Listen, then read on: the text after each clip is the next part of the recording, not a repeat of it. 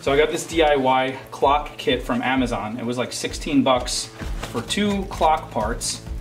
I opened it already, it doesn't come this messy, but here's our two clock motors. And then they give you a choice of four different sets of hands.